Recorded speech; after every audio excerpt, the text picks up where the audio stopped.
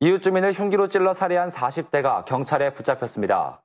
여수경찰서는 어젯밤 9시 20분쯤 여수시 묘도동의 한 주택에서 55살 김모 씨를 흉기로 찔러 숨지게 한 혐의로 같은 마을 주민 47살 김모 씨를 붙잡아 조사하고 있습니다.